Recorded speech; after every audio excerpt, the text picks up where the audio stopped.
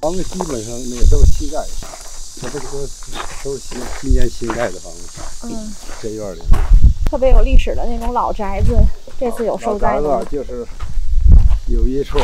嗯四合院给冲了，嗯，其余的古树古庙什么都没没受。